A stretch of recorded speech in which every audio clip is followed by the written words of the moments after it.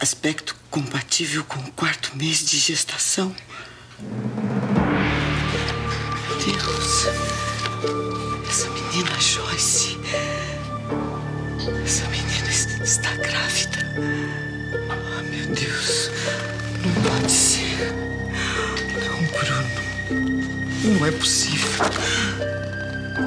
Joyce Assunção, é ela mesmo, a moleca. Pressenti alguma coisa. Oh, meu Deus, me ajuda, me ajuda, me ajuda. A gente tem um filho tanto cuidado, com tanto amor, meu Deus. Por quê? Pra isso? Não é justo, não é justo. Por que, Bruno? Quatro meses, quatro. Até quando eles iriam esconder isso? Até quando? Oh, meu Deus. É um pesadelo. Bruno, Bruno, por que você fez isso?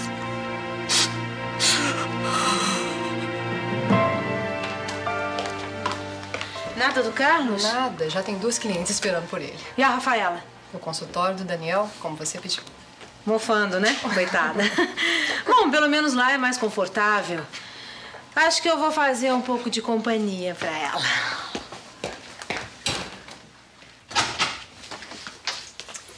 Oi, Rafaela. Me disseram que você estava aqui. Como vai, Sheila? Tô ótima. Tô super feliz. Você sabia que eu e o Daniel nos casamos? Verdade. Quer dizer, não é um casamento assim tradicional. Inclusive, cada um mora em seu próprio apartamento. Nós nos sentimos compromissados um com o outro mesmo, pra valer. Como vai a Olga, o Mauro? Bem, todos bem. Você que tá me parecendo que não tá se sentindo muito bem, o que foi? Você tá sentindo alguma coisa? Não é nada, não. Isso vai passar. Bom, então você está sentindo alguma coisa? É um pequeno mal-estar, mas não é nada, Sheila. Não se preocupe. Não, Rafaela, vem aqui que eu vou, eu vou tirar sua pressão. Sente-se, por favor. Não, Sheila, por favor, não. Eh, Isso vai passar. É, Foi só um pequeno mal-estar, é cansaço. Hum, Mas também o Carlos está demorando tanto, né? É, mas isso não importa. Eu. Eu sei como é a vida de médico. Eu tenho um outro compromisso, eu não vou poder esperar.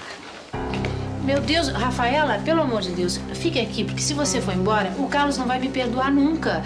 Eh, Você descansa um pouco num dos nossos quartos, eu vou chamar o Gabriel para dar uma olhadinha em você, tá? Por Não, favor. não, não precisa, não, Sheila. Se você puder mandar trazer um copo d'água pra mim, pra eu tomar um comprimido, só isso. Claro, fica aí que eu mesmo vou buscar. É um minuto só. Não se, não se.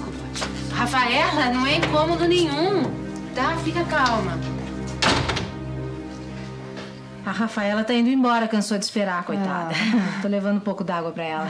A Sheila nem te contei. A Zuleika telefonou, não vem trabalhar hoje. Roubaram o carro dela ontem à noite. Jura? É, e o pior é que parece que tinha um bocado de coisa de valor dentro do porta-malas. Não, a mulher tá arrasada. Até chorou no telefone. Gente, mas eles vivem na maior pindaíba. Vai ver que eram coisas que eles estavam tentando vender pra fazer caixa com a desculpa que tava ocupando muito espaço na casa deles. Olha só que coisa. Mulherzinha falsa. Ai, meu Deus, é, Tânia. É que se faz, é que se paga. Faz intriga, quer derrubar todo mundo. O que aconteceu? Bem feito. Bem feito mesmo. Rafaela!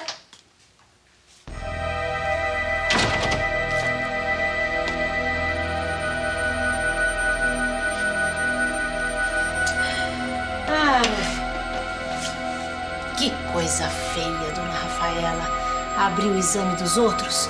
Uma pessoa tão distinta como a senhora? Ai, ai. Pronto, dona Joyce Assunção. Agora você pode exibir sua barriguinha. E todo mundo já sabe que você tá grávida. Eu estou confusa agora. Não é do Bruno, então, mas pelo menos ele sabe que você está grávida. O que a senhora acha, dona Rafaela? Que eu tô escondendo a minha gravidez do Bruno pra quem sabe mais tarde usar isso contra ele? Não, eu não pensei isso. Tá nem... na cara que foi isso que a senhora pensou. Pois fique sabendo, dona Rafaela, que a primeira vez que eu saí com o Bruno, que ele disse que gostava de mim, que queria namorar comigo, eu fui a primeira a falar que não podia namorar com ele nem com ninguém, porque eu tava grávida.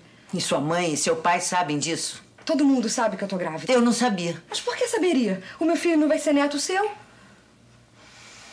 E. E agora o que é que vocês dois pretendem? Você pretende de um amigo? Amizade. Mas o Bruno não está pensando assim. E eu sei disso. Ele gosta de você.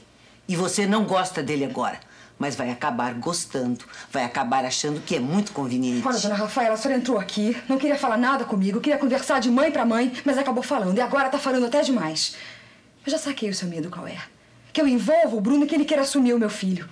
Eu tenho medo, sim. Porque ele é um bom rapaz, romântico. Fique sabendo que ele já me fez essa proposta. De se casar comigo, de assumir o meu filho, registrada o nome dele. Não, ele não pode fazer isso. Pode por quê? Porque não está direito. Onde é que já se viu assumir um filho de um outro rapaz? Começar uma vida assim? Não, se você fosse divorciada com um filho, se você fosse viúva com um filho, ainda bem. Mas não. Você vai ser mãe solteira. O pai do seu filho está vivo. Por que é que o meu Bruno tem que assumir essa responsabilidade? É, dona Rafaela. O Bruno é romântico, é limpo, é gentil. Mas eu tô vendo que não foi a senhora que ele puxou, não. Mas provavelmente é o pai. Mas agora você está me ofendendo. Não, eu tô me defendendo. A senhora entrou aqui querendo conversar de mãe pra mãe, mas quando soube que eu joguei limpo com seu filho, passou a achar que eu ia dar o golpe. Não, eu nunca falei isso. Mas deu pra entender. Eu só não quero que o Bruno assuma o erro dos outros. Erro? Então a senhora chama filho de erro? Significa que a senhora teve dois erros e eu vou ter um? Filho de uma mãe solteira é sempre um erro. É incrível como a senhora tem o mesmo discurso da mãe do meu ex-namorado. Apesar de todo o verniz, por baixo tem a mesma casca grossa como ela. Eu já não tenho mais nada a fazer aqui. É, não tem mesmo. Aliás, não tinha desde o momento que entrou aqui. Se quisesse, por telefone, eu teria contado essa história toda. E teria evitado essa sua indesejável visita. Porque o que a senhora queria fazer aqui, dona Rafaela, era conferir a minha barriga e saber da minha mãe como resolver esse erro. É como a senhora chama o meu filho e os filhos de mãe solteira. Minha mãe não resolve nada não, viu? Nem minha mãe, nem meu pai, nem ninguém. Só eu. Meu pai, dona Rafaela, que eu amo muito, rompeu comigo. Me deu como morta. Quase me espancou por causa desse filho. O meu namorado fugiu. A mãe dele me odeia. Mas eu tô aqui. Eu tô aqui, dona Rafaela. Com muito amor. Com meu filho crescendo, crescendo a cada dia, olha só. E daqui a pouco, ele vai estar assim, ó empinado, andando pela rua. E eu vou levar ele como se ele fosse um estandarte. Você é muito atrevida. Sou! Sou! E é por isso que muita gente me odeia e muita gente me ama. Eu sei acarinhar, mas eu sei bater. Eu sei chorar, mas eu sei brigar. Eu sou gente, dona Rafaela, não faço pose. Era isso que eu temia, que meu filho se metesse com pessoas de outro nível. A senhora também não tem o mesmo nível que ele. O nível do Bruno é muito superior ao seu. A dona Dalva dizia a mesma coisa pra mim, que não tinha nível pro filho dela. E olha que o filho dela é um perrapado, como ela também. Pra senhora ver como essa história de nível é muito relativo, né? Chega! Eu não preciso mais falar com a sua mãe. É, não precisa mesmo. Vocês não vão ser avós do mesmo neto. E não precisa me acompanhar. Eu não ia mesmo. Boa noite. Boa noite, dona Rafaela.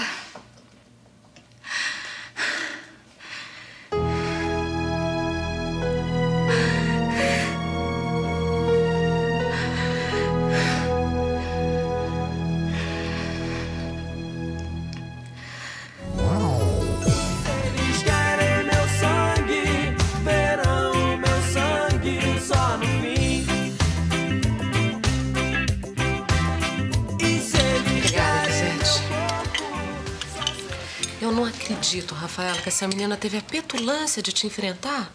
E como? Olha, eu bem que disse, viu? Ainda bem que esse filho não é do Bruno, só isso já é um alívio. Desde que ele não queira assumir a gravidez? Rafaela, ele não é maluco, né? Ah, o pior é que é. Ela me disse que ele propôs isso a ela. Registrar o filho em nome dele. Tá chutando, Rafaela, quer te assustar. Agora, nem você, nem o Mauro, nem a avó tem que admitir uma situação dessas. Puxa, um rapaz como o Bruno, assim, metido numa sujeira dessas, puxa, uma menina mais solteira. Sabe-se lá se essa menina é limpa, saudável? E você acha que eu não pensei nisso? Mas eu vou atrás desse rapaz, eu vou saber quem é. O que, que você quer me falar? Primeiro me responde uma coisa. Você ama sua mãe? Você sabe que sim. Mas ama de verdade, eu quero dizer. Obedece e concorda que eu quero o seu bem, apenas o seu bem, mesmo podendo parecer o contrário. Você... Já sei, já sei. Você vai me pedir eu esquecer esse negócio de música, de trabalhar no bar, de tocar piano, de cantar. Não, nada disso. Outra coisa, eu vou até te incentivar. Eu vou te propor a fazer um estudo lá fora, nos Estados Unidos, por exemplo. Não é lá que tem as melhores escolas? Você tá querendo quem, mãe? Eu quero ter uma conversa séria com você Sobre? sobre a Joyce. Ah, mãe, outra vez. Mas que implicância. Fiquei sabendo que ela está grávida, Bruno. Hum, e o que que tem isso? Eu quero que você se afaste dela. Porque ela tá grávida? Ficou maluca, é? Não fala assim comigo, Bruno. Mãe, você não pode estar querendo levar um assunto sério. É que eu pensei que ela estivesse grávida de você. Mas depois eu soube que, que é de um outro rapaz, do ex-namorado dela. Bom, e daí? Bem, isso me tranquilizou a princípio. Mãe, vai direto ao assunto. O que que a gravidez da Joyce tem a ver com a nossa amizade? Então eu não posso ser amigo de uma moça grávida. Amigo pode. Mas é o que somos, meu Deus. Quantas vezes eu te disse, mãe? Nós somos só amigos. Como é que você quer que eu te prove? A única maneira de provar que é só amizade, de provar que você ama a sua mãe, é afastando-se dela. Ah, não dá pra entender. Olha, você vai à Itália, vai ver seus primos, seus tios, ou vai aos Estados Unidos ver justamente esse curso de música e só volta depois que a criança nascer.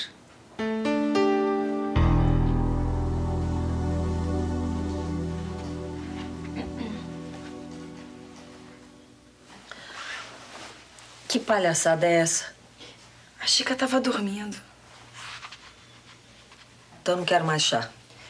Ah, dona Zuleika, eu fiz com tanto carinho e até colhi essa flor pra senhora lá no jardim. Então tá bom, deixa o chá aí. Eu só, só vou aceitar porque eu tô morrendo de dor de cabeça e preciso tomar meu remédio. Não sei, não sei mais onde que eu pus o remédio. Assim, me deixou tão confusa, tão atrapalhada que eu não acho meu remédio.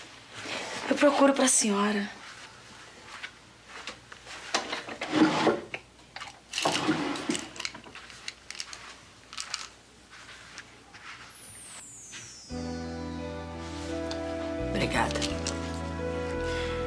Sei onde a senhora guarda tudinho. Eu posso entrar aqui de olhos fechados. E eu encontro tudo que a senhora precisar. Eu tava comentando com o Toninho que se a senhora quiser, de- mesmo depois da gente se casar, eu continuo trabalhando aqui pra senhora. Que continua trabalhando aqui? Que continua? Você tá despedida, menina. Você não vai me amolecer. Você nem sonhe com isso. Obrigada. Pode ir, pode ir.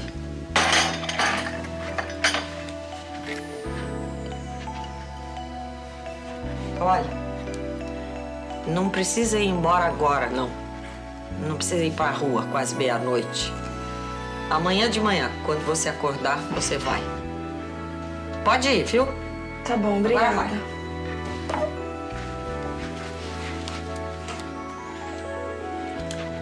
Pode deixar que amanhã, bem cedinho, eu vou embora. Antes da senhora acordar. Pera. Antes de eu acordar, não. Eu ainda tenho algumas coisas pra te dizer que você precisa ouvir. Espera eu acordar. Depois você vai. Sim, senhora.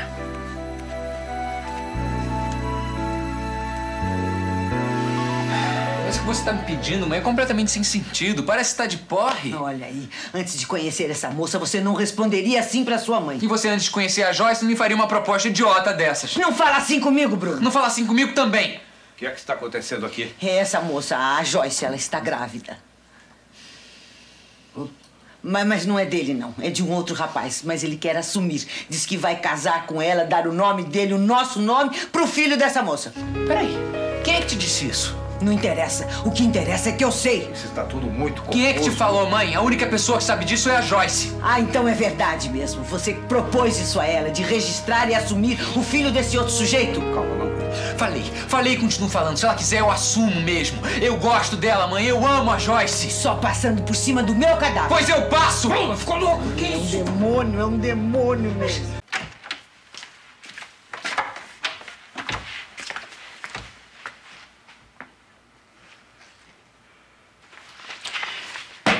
Desculpe se eu estou ocupando o consultório do Carlos, mas foi a moça da recepção que pediu que eu esperasse aqui. Provavelmente ela não sabia que a senhora estava por chegar. Eu mesma, se soubesse, estaria esperando numa outra sala. É uma coincidência. Não é coincidência, não, Ana Rafaela. Eu estou aqui porque eu sabia que a senhora ia estar também. Eu acho que nós estamos precisando de uma explicação. Não nos devemos nenhuma explicação. A senhora foi à minha casa e falou com a minha filha de uma maneira que me desagradou profundamente. Eu sinto muito. Eu não fui lá para falar com ela, mas sim com a senhora. Ah, e como a Lioa não estava, a senhora devorou os filhotinhos. Não, a sua menina insistiu comigo e eu acabei desabafando. A senhora magoou minha filha. Eu peço desculpas. Fácil, né? O que mais eu posso fazer? Engolir de volta as palavras que deixou lá na minha sala. A senhora está exorbitando. Eu mal lhe conheço e não admito que fale assim comigo. Quer respeito? Mas a senhora não respeita. Diante de uma menina de 18 anos que podia ser sua filha, uma jovem grávida, passando pelas agruras de uma situação como essa, a senhora vai lá e fica supondo coisas absurdas sobre o comportamento dela? Não fiz suposições absurdas. Todas elas estavam dentro das possibilidades. Eu pensei que ela estivesse grávida do meu filho e fui lá para resolver com a senhora o que fazer numa situação dessas. Sim, mas ao saber que o filho não era do Bruno, o que, que a senhora tinha que ter feito? Dar meia volta e sumir. Mas o que, que a senhora fez? A senhora insinuou que a minha filha e eu estivéssemos. estivéssemos dando um golpe no seu filho? Eu jamais usei a palavra golpe. Ah, que preciosa que a senhora é. A senhora faz questão mesmo da palavra certa. Não foi golpe, o que, que foi? Foi alguma coisa que soou como golpe. Isso aconteceu já em muitas famílias. Ah, é? Não na minha. Mas foi a sua filha que me disse que o Bruno queria casar-se com ela, assumir o filho do outro rapaz. Foi ela que me falou. Ele pode até querer, mas nós não queremos. Será que a senhora não me entende? Eu não quero pai pro meu neto, nem mesmo verdadeiro. Não precisamos nem de dinheiro, nem de apoio moral, nem do sobrenome Moretti. Essa criança é da minha filha e de mais ninguém. Eu admiro a sua coragem e determinação. A senhora é mãe, dona Rafaela. A senhora sabe o que isso significa. A senhora tem uma menina quase da idade da minha. Idade é uma coincidência sem importância. Será? Não se sabe o dia de amanhã? Fazemos hoje o nosso amanhã.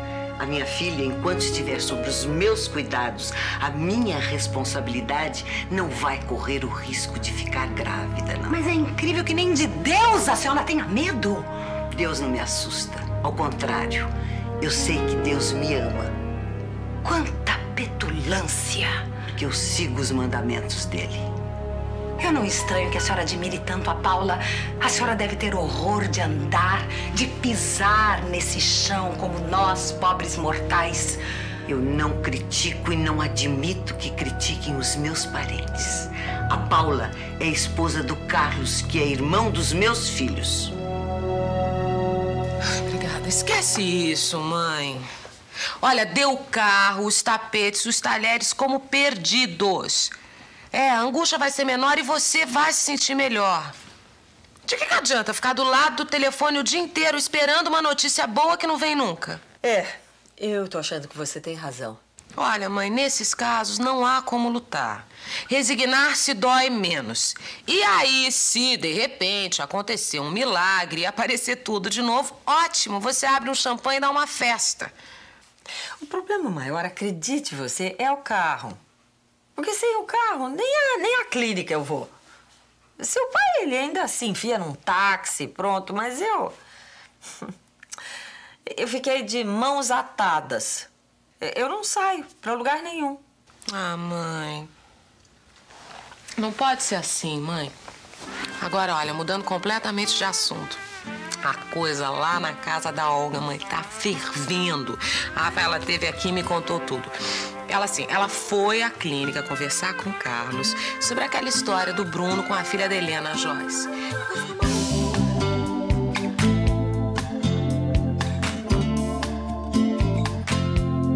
Você não me deixa a Helena sair da clínica sem me avisar, que eu quero falar com ela antes que esse encontro acabe. Pode deixar.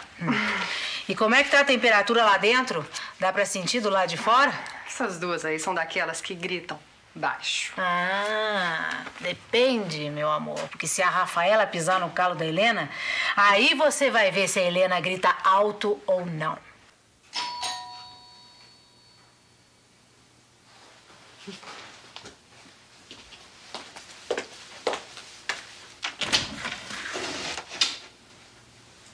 Precisamos conversar.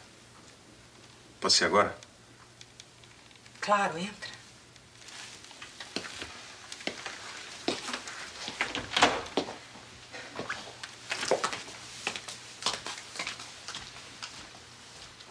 Tá melhor? Mais calma. É, mais controlada, talvez. Senta.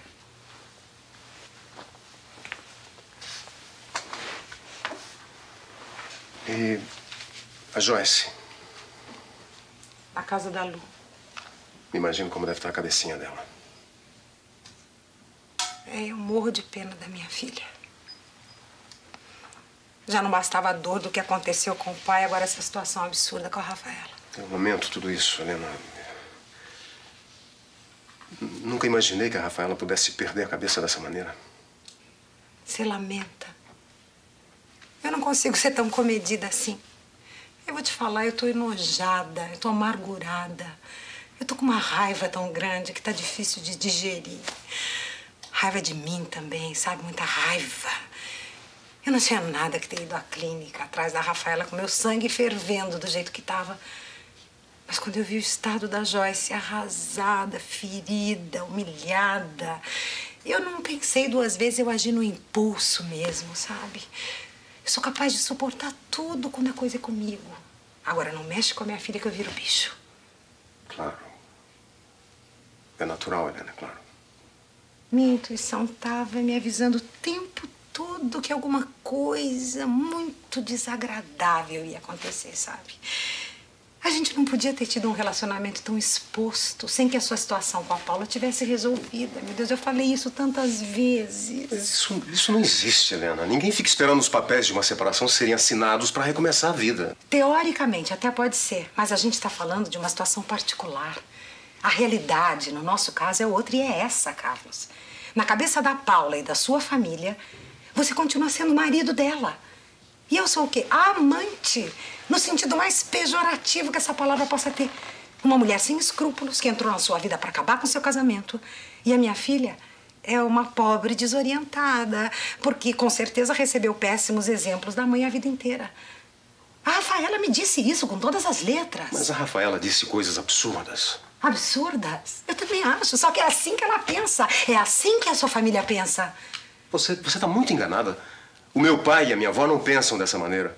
Eles não reagiram dessa forma. A Olga ficou contra a Joyce também.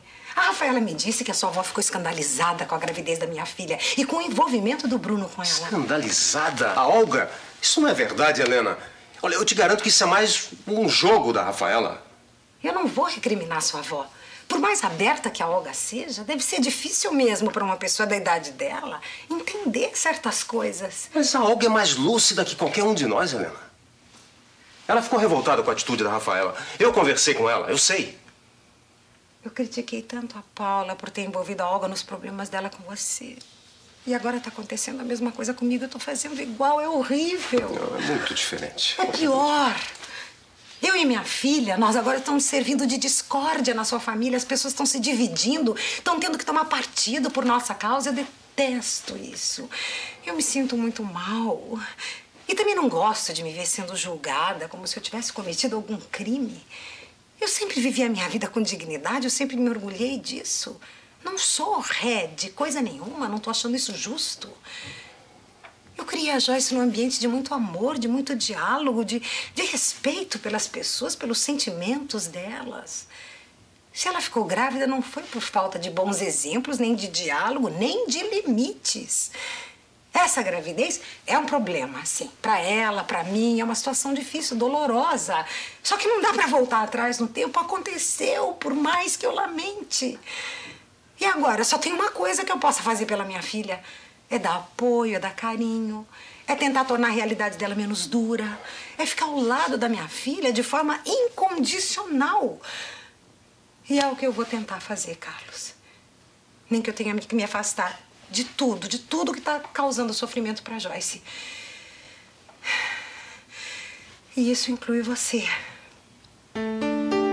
Eu tinha que vir pessoalmente. A notícia é muito boa para ser dada por telefone. Eu queria ver seu rosto, sua alegria. Ai, fala, mas pelo amor de Deus, diz logo o que aconteceu. Você vai me matar de curiosidade. Tem a ver com o Carlos e com a Helena, não é? Eles brigaram. Muito mais que isso. Os dois romperam definitivamente. Não, não, não acredito. O próprio Carlos contou pro Mauro, partiu da Helena. Se desentenderam por causa da moleca da filha. Ai, gente, eu adoro essa menina. Se fosse por qualquer outro motivo, eu te diria para não se animar tanto. Mas esse negócio de filho é muito forte, eu conheço. A Helena até subiu no meu conceito. Ficou do lado da filha contra todos, como deve ser. Eu sabia. Eu sabia disso. Isso não podia dar certo nunca. Só não pensava que fosse ser assim tão rápido. Mas olha, valeu a pena eu ter me comido por dentro e não ter feito nenhum escândalo. Eu te falei isso muitas vezes. Agora o caminho tá livre. Mas você tem que agir com calma, como você tá indo. Porque o Carlos ainda tá muito ferido. O Mauro me falou que ele ficou tão machucado, tão aborrecido. E você sabe, essas feridas levam tempo para cicatrizar. Não, Rafaela. Mas eu dou esse tempo. Eu faço tudo. Eu me comporto até como freira carmelita. Tô tão feliz, eu tenho certeza, eu tenho certeza que agora o Carlos vai ser meu. Ele vai ser meu, Rafaela. Olha, eu fui burra. Levei uma paulada com essa separação que eu fiquei até desnorteada. Mas eu aprendi. Esse sofrimento serviu pra alguma coisa, sabe? Eu mudei. Eu não sou mais a mesma Paula, não. E dessa Paula aqui, Rafaela, Dr. Carlos Alberto Moretti não escapa. Nunca mais. A crueldade de que se é capaz deixar pra trás os corações partidos. Contra as armas do ciúme tão mortais, a submissão às vezes é um abrigo. Saber amar,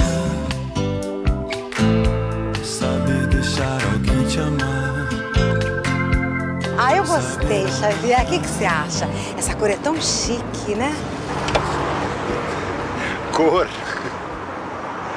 Isso é o que menos importa, Helena. Primeiro a gente precisa ver o estado mecânico, precisa ver se não tem ponto de ferrugem, essas coisas. Mas à primeira vista me parece bom, é o melhor que a gente viu até agora. O carro está ótimo, doutor. Damos uma boa garantia também. Se a senhora resolver, madame, vai fazer um excelente negócio. Calma aí, meu chapa. A gente não vai fechar negócio nenhum sem testar o carro antes. Vamos dar uma volta, Helena, para eu sentir o motor. Pode, moço. Perfeitamente, madame. Eu acompanho os senhores. Olha, já estou considerando esse negócio fechado.